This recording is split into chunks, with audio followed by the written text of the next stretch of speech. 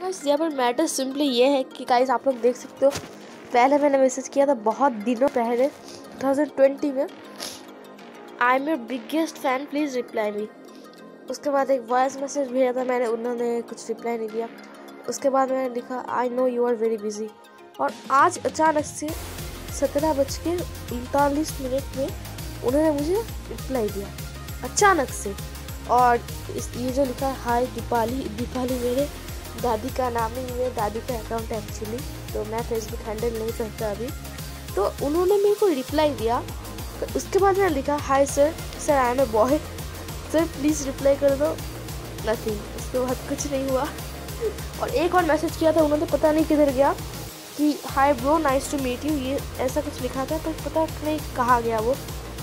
तो गाइस यहाँ पे सिंपली मैं आपको प्रूफ भी कर देता हूँ कि वे असली ट्रिकर इंसान है इनके अकाउंट पर जाओ। तो यहाँ पर जाना है और देखो।